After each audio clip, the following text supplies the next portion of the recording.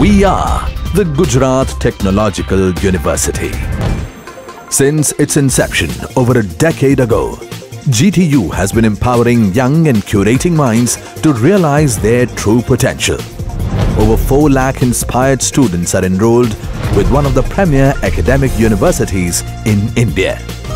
With more than 450 affiliated colleges in its fold operating across 5 zones of the state, GTU, the International Innovative University, your place to move forward.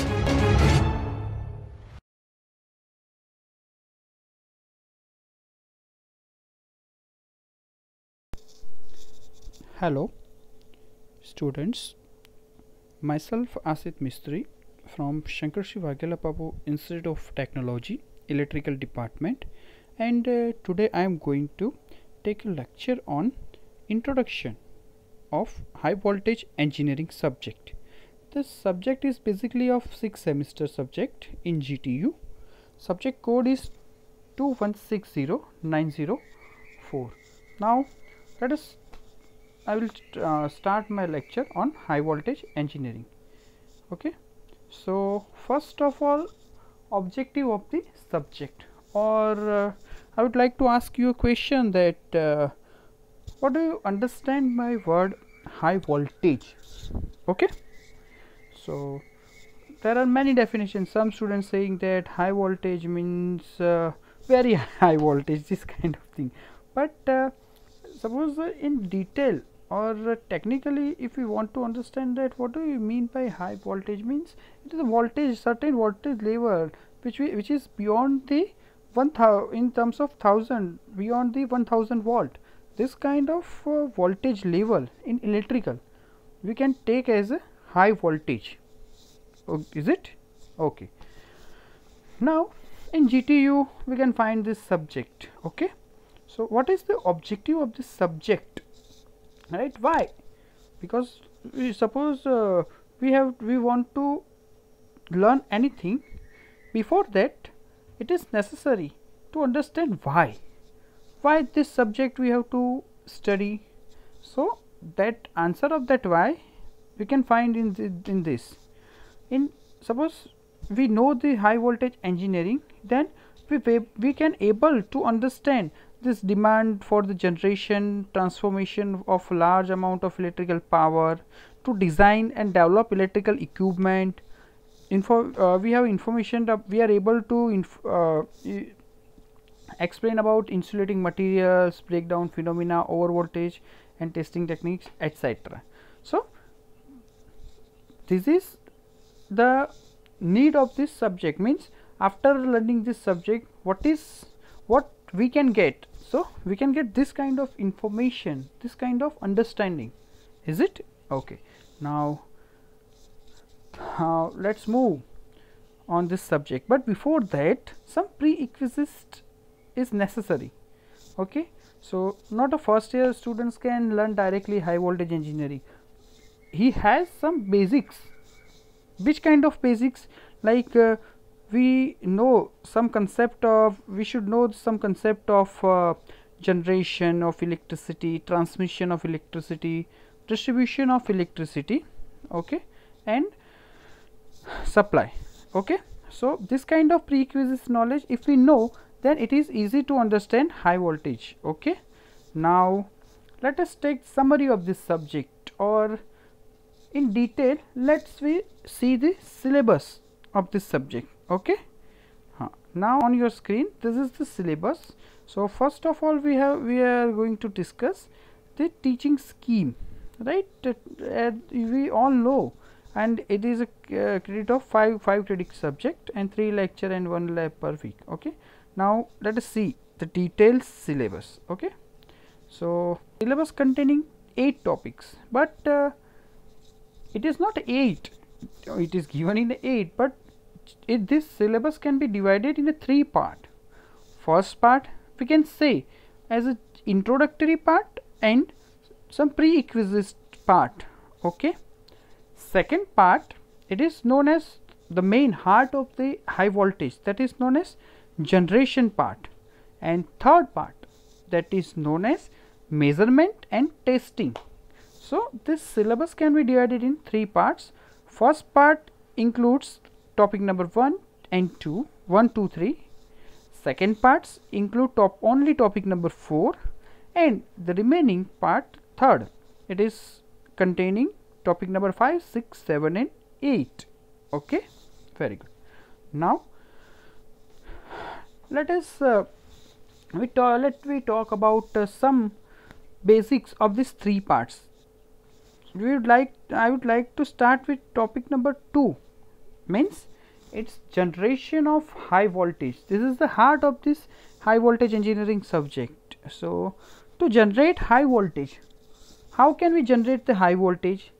Before that one should able to know that how electricity is generated. Is it so what is the answer? Electricity is generated by which law? Faraday's law of electromagnetic induction.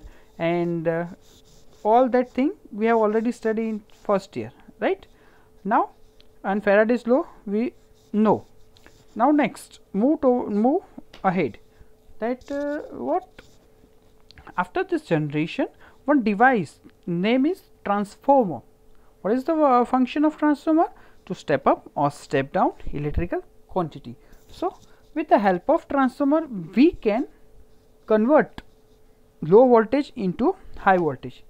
This is first one basic method of this uh, generation. Another aspect, suppose we want to DC, what is solution? Someone says rectifier, exactly. Rectifier means it is a device which convert HV AC into HV DC.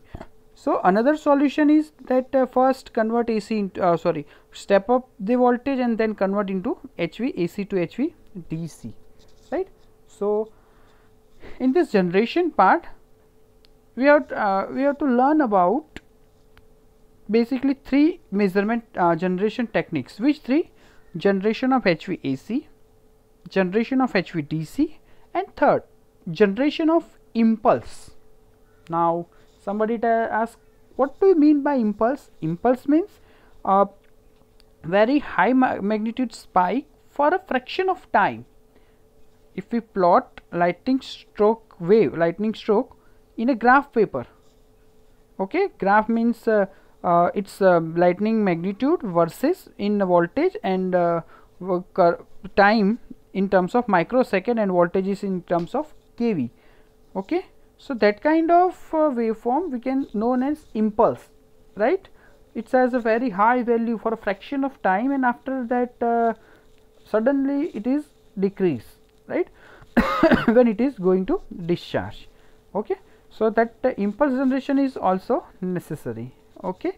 So my question is that uh, why this generation is necessary? Because in some applications we will talk later. It will require very high voltage as a supply. That's why it is necessary. Another mean means suppose lightning stroke is a natural stroke okay?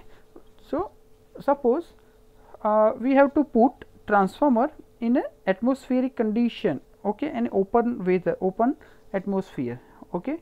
At that time suppose suddenly lightning lightning stroke occur and it is fall on the transformer. What happen transformer will destroy so to protect the transformer we have to put uh, some protection like lighting arrestor okay or ins insulators so, that insulator must be capable to sustain that kind of stroke. In transmission line also we can find some insulator. So, suppose so that testing of that kind of uh, insulator and devices we will require a impulse wave or high voltage. That is why we have to study this generation of high voltage.